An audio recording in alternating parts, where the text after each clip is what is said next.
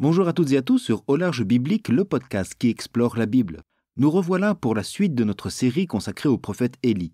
Nous sommes en pleine sécheresse qui sévit sur Israël et sur la ville phénicienne de Sarepta où Élie s'est réfugié sur ordre du Seigneur. Tout va relativement bien pour le prophète de Dieu et son hôtesse païenne lorsque survient le drame parmi les plus injustes, l'enfant de la veuve meurt.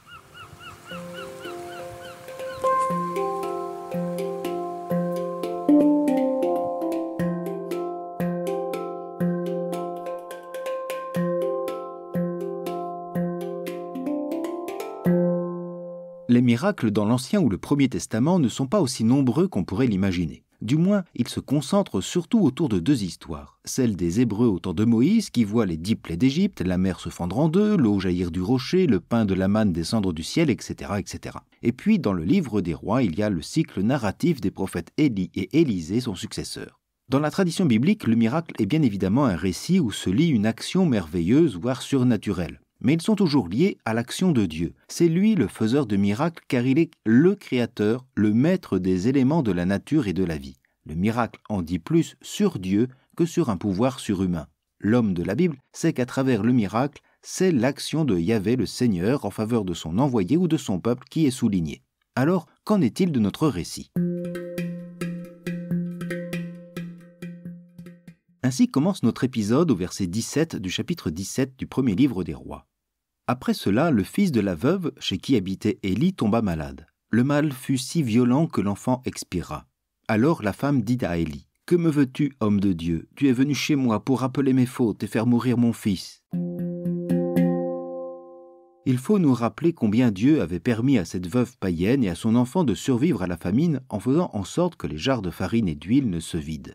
C'était l'épisode 131 précédent. Et pourtant, malgré cette miraculeuse bénédiction, voici que l'enfant meurt. Le drame est ici considérable. D'abord, la mort est toujours un drame.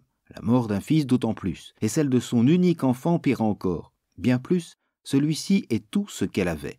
Elle est veuve et ce fils était son seul lien vivant avec son défunt époux, et son seul appui pour sa vieillesse. Elle perd un fils qui n'est donc plus présent, elle perd une part non négligeable de son passé et n'a plus d'avenir. Le drame est donc ici extrême, la mort est violente. La réaction de cette femme désespérée ne se fait pas attendre. On peut la comprendre. La mort de l'enfant dans une maison protégée de Dieu ne peut avoir qu'une seule cause, Dieu lui-même. Que me veux-tu, homme de Dieu? Tu es venu chez moi pour rappeler mes fautes et faire mourir mon fils. La présence du prophète aurait ainsi amené le jugement de Dieu sur sa maison. De ses fautes, le texte ne dit rien et il faut s'empêcher d'en imaginer. Le seul élément objectif que le récit peut nous donner est son appartenance au monde païen.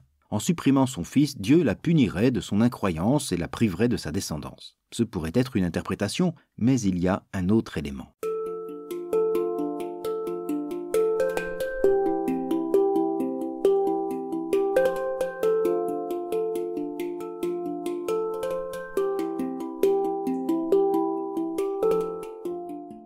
L'enfant unique de la veuve meurt dans cette maison bénie de Dieu. La présence de Dieu, tout comme sa bénédiction, n'empêche pas la mort ni les drames. Finalement, le récit pose cette question.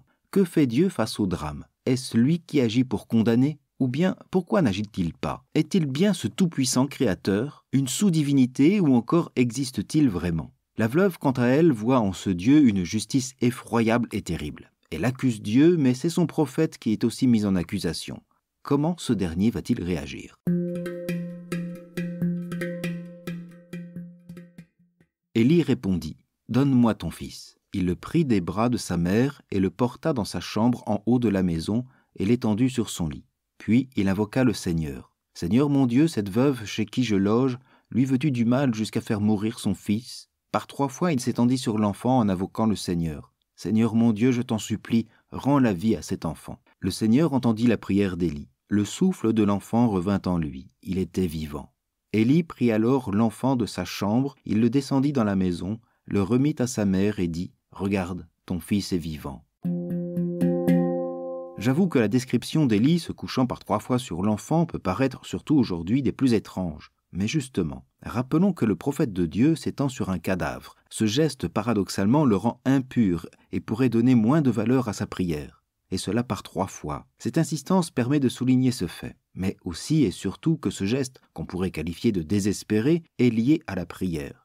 Élie est prêt à se rendre lui-même impur pour sauver l'enfant. Il l'a pris dans les bras comme s'il le considérait peut-être, non pas comme le sien, mais au moins comme s'il en était responsable. Donne-moi ton fils, disait-il à la veuve. Il monte le corps dans la chambre haute comme s'il s'agissait de trouver l'endroit le plus proche de Dieu à proximité. Les gestes d'Élie sont tous marqués par son attachement à cette famille qu'il a accueillie, cette veuve chez qui je loge et son fils. Lui, le prophète de Yahvé, le pur, le messager divin, s'associe, se solidarise, pourrait-on dire, avec cette famille païenne. Sa prière donne à entendre son cri, son triple cri. Dans cette détresse, il invoque le Seigneur et même il le convoque, le prend à témoin. Peut-il être juste en faisant mourir l'enfant de son hôtesse? Celle d'ailleurs que le Seigneur lui avait désignée. Lui veux-tu du mal jusqu'à faire mourir son fils Ce n'est pas tant une question qu'un appel à ce que la vraie justice de Dieu se manifeste. Rends la vie à cet enfant. Il n'y a là aucune injonction, mais une confiance en ce Dieu de vie, en ce Créateur. La mission du prophète et la bénédiction de Dieu n'ont pas empêché la maladie mortelle de l'enfant qui, hélas, fait partie de la réalité humaine.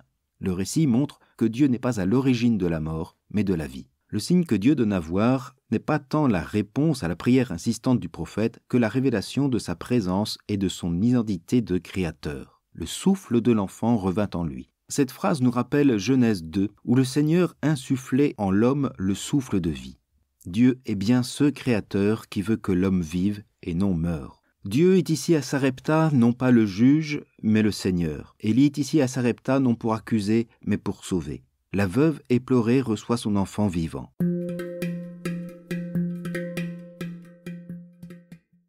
La femme lui répondit, Maintenant je sais que tu es un homme de Dieu et que dans ta bouche la parole du Seigneur est véridique. La veuve reconnaît combien le prophète est un homme de Dieu et d'un Dieu de vie, qu'Élie est un homme de parole, d'une parole vraie, la parole de Dieu. Un enfant décédé revient à la vie, un fils revient à la mère. Le miracle montre ici que le Seigneur à Sarepta n'est pas seulement une parenthèse dans la vie du prophète. Sa prière, ses gestes, son cri montrent combien il s'était attaché à eux et combien il compte aussi sur l'agir bénéfique de Dieu, un Dieu plus fort que la mort et qui vient combler toute détresse, mais qui n'ôte rien, hélas, au drame de la vie.